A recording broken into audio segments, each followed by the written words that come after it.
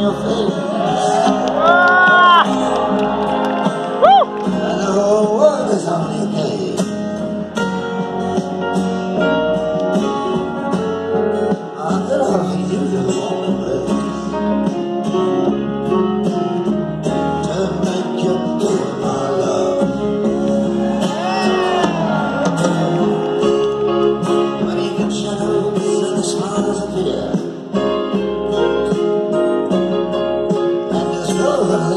Cry